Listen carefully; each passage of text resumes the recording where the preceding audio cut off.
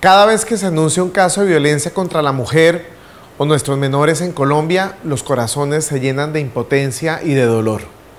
Con enorme tristeza debo decirles que hoy todo un país nos está mirando porque nos sumamos a los lamentables hechos de violencia contra nuestras mujeres. Lo de este fin de semana contra María Angélica Polanco, vilmente asesinada, nos conmociona, nos duele, pero estoy seguro que este delito no quedará impune. Le he pedido a la policía y a las unidades de la fiscalía que judicialicen al responsable en el menor tiempo, que se haga justicia en este caso y en los demás que han sucedido en nuestra ciudad y que pague por el daño causado a la familia Polanco, quienes perdieron a una hija, una madre, una hermana, una amiga, a la profe como la llamaban sus alumnas.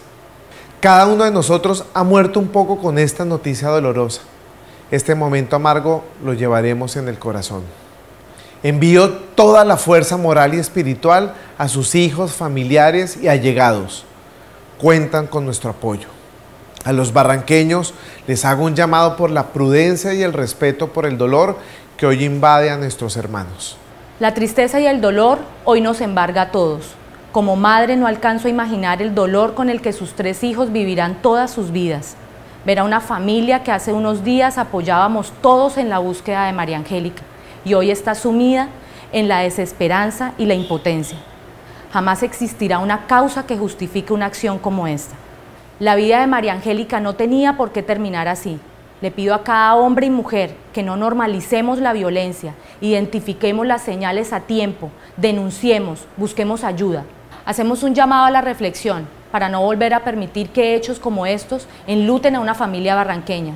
Asimismo, nos unimos a las oraciones que hacen todos los barranqueños por el descanso eterno de María Angélica y para que conceda a sus hijos, familiares, compañeros de trabajo y amigos toda la resignación y tranquilidad que en este momento tanto lo necesitan. Hoy a las 7 de la noche, en memoria de María Angélica y todas las víctimas de la violencia, encendamos una vela en casa, en su ventana, en su andén. Esta noche, cada vela se convierte en una estrella para iluminar a nuestra profe en su camino al cielo.